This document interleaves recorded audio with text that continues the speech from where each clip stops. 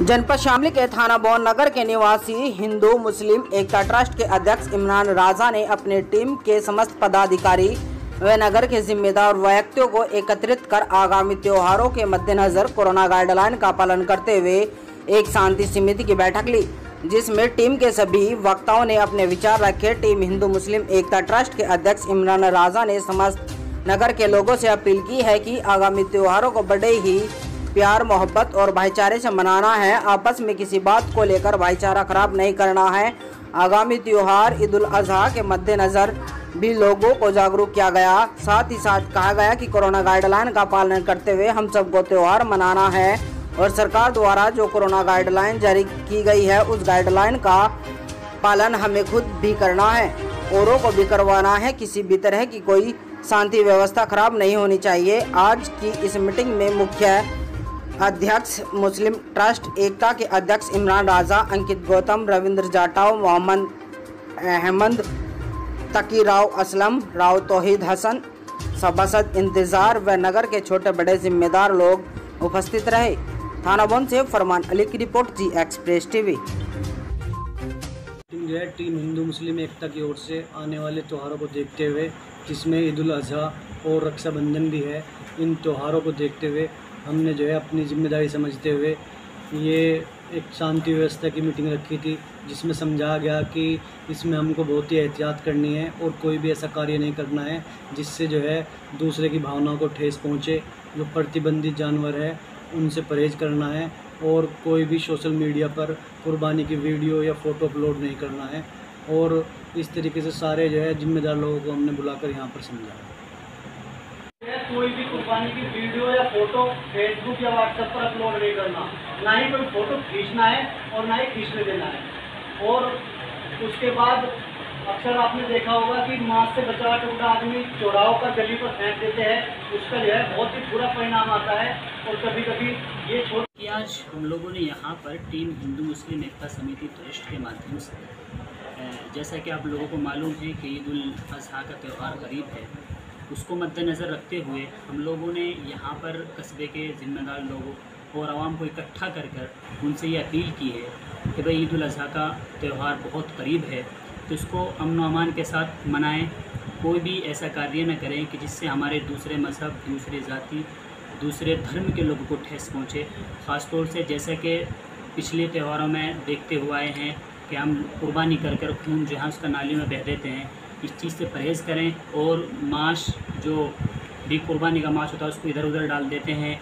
इस चीज़ का ख़ास ख्याल रखें, इधर उधर न फेंकें, कोई गड्ढा खोद कर उसको, गहरा गड्ढा खोद कर उसको उसमें दफन करें। और दूसरी चीज़, कोई भी फ़ोटो इसकी सोशल मीडिया पर मत डालें। इसमें हमारे एक टीम के अध्यक्ष अली जनाब डॉक्टर तोहिद हसन राव वो तशरीफ़ लाए थे और हमारे शरफ कॉलोनी के मैं सभासद भाई इंतज़ार अज़ीज़ भाई इंतज़ार मेंबर साहब, वो तशरीफ़ लाए थे। और टीम हिंदू मुस्लिम एकता समिति ट्रस्ट के राष्ट्रीय अध्यक्ष अंकित गौतम साहब वो तशरीफ़ लाए थे। और इसी तरीके से टीम हिंदू मुस्लिम एकता समिति ट्रस्ट के राष्ट्रीय अध्यक्ष भाई इमरान राजा साहब तशरीफ़ लाए थे। और इसी तरीके से बड़े भाई मेहरान भाई और तमाम बहुत काफ़ी लोग, ज़िम्मेदार लोग, बस्ती के कस्बे के तमाम ज़िम्मेदार लोग यहाँ पर तशरीफ़ फरमाते। तमाम लोगों ने अपने स्तर पर अपील की है। सब लोगों ने समझाया है और इन यहाँ से लोगों ने वादा कर कर गए हैं, इस चीज़ का ऐद कर करके जाए गए हैं कि हम लोग जैसा भी सरकार का आदेश आता है, जैसी सरकार की गाइडलाइन आती है, उसके मुताबिक हम अपने ये ईद उल का त्यौहार बड़े अमन अमान और बड़ी शांति के साथ में मनाएँगे आप लोगों को करना है और अपने जो कुर्बानी का सिस्टम है वो पर्दे के साथ किया जाए, किसी भी भाई को बिल्कुल किसी भी किस्म की तकलीफ़ ना पहुँचे। मैं ऐसी अपने साथियों से आशा करता हूँ। और बाकी यहाँ पर कुछ और योद्धा बैठे हैं। मैं अपना ज़्यादा समय न लेते हुए अपनी वाणी को यही विराम देता हूँ। जय हिंद, जय भारत। मैं ईश्वर से सेहत के लिए कामना भी करता हूँ। देखिए, वैसे तो पति पत्नी विवाद सुलझाने में ही मुझको के नाम से मुझको जाना जाता है, लेकिन आपकी टीम में मुझको बोलने के लिए अवसर दिया गया है। और ईद उल अजहा का जो त्यौहार है, इसके लिए दोनों धर्मों के लोग एकत्र हैं। भाईचारा बनाने के लिए जो जो कठिनाइयाँ पिछले साल आई थी, सभी भाई उन चीज़ों पर मिल करके उन ना करें और ना करने दे।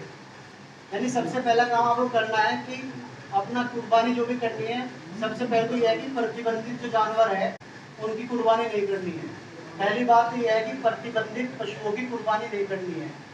दूसरा, कि आप लोगों जो है, कोई भी कुर्बानी की वीडियो या फ़ोटो फेसबुक या व्हाट्सएप पर अपलोड नहीं करना। ना ही कोई फ़ोटो खींचना है और ना ही खींचने देना है। और उसके बाद अक्सर आपने देखा होगा कि माँ से बचा टूटा आदमी चौराहों पर गली पर फेंक देते हैं। उसका जो है बहुत ही बुरा परिणाम आता है और कभी कभी ये छोटी सी हमारी गलती एक सांप्रदायिक रूप ले लेती है। तो इसलिए अगर खाल या फिर गोबर या फिर पेट वगैरह जो मतलब होता है, उसको कहीं खड्डा खोद कर दबाने की कोशिश करें और बाद में जो हड्डियाँ बचती है, उन्हें भी कहीं दबाने की कोशिश करें और अगर कोई ऐसा करता है तो उसे नसीहत दे और उसे वही कहीं निपटाने की कोशिश करें। अगर उसके बाद भी वो नहीं मानता तो तत्काल उसकी हमें सूचना मीटिंग का प्रोग्राम क्या है? आज हमने टीम हिंदू मुस्लिम एकता ट्रस्ट में जो नए पदाधिकारी बने हैं, उनकी घोषणा की है और उन्हें पद दिए हैं। हमारी टीम का मेन उद्देश्य ये है कि हमारी टीम कस्बे से बढ़ के प्रदेश स्तर से कार्य करें और जितने भी हमारे नौजवान साथी हमारी टीम में जुड़े, वे अपनी लगनशील से कार्य करते रहें और हमारी टीम को जितनी ज़्यादा से ज़्यादा कार्य करने में अपनी मेहनत लगाएँ। हमारी पूरी टीम की तरफ़ से उन्हें सभी जो नए पदाधिकारी बने हैं उनको बहुत बहुत शुभकामनाएँ। अल्लाह भगवान से ही मैं वो करता हूँ कि जितने भी हमारे पदाधिकारी हमारी टीम में बने हैं वे अपनी लगनशील से आगे कार्य करते रहें हमारी टीम को आगे बढ़ाने का कार्य करें। आपने जो आज पद दिया है क्या वे शामली ज़िले के अलावा किसी और ज़िले में भी? हाँ जो आज हमने पद दिए हैं वे सहारनपुर ज़िले में भी दिए हैं कोषाध्यक्ष बनाए हैं जिलाध्यक्ष बनाए हैं शामली जिलाध्यक्ष से भी शामली शामली जिला शामली से भी हमने नए पदाधिकारी बनाए हैं सचिव बनाए हैं।